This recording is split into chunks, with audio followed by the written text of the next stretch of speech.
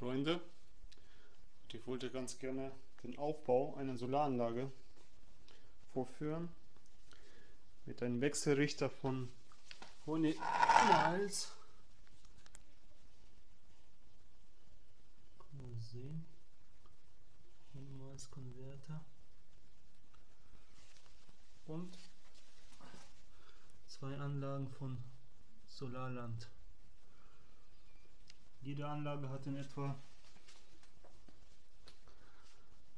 250 Watt. Hier ist eine umgedreht, damit man die auch mal von hinten sieht, wie die aussehen. So, und jetzt werden ganz einfach die Anschlüsse Plus und Minus da angeschlossen, eingesteckt. So.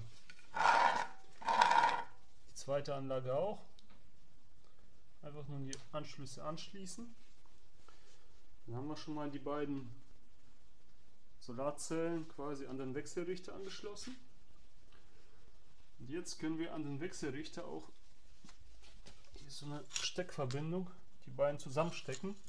Dann haben wir da ganz normales Kabel für die Steckdose dran angeschlossen. So, und das können wir dann in die Steckdose reintun.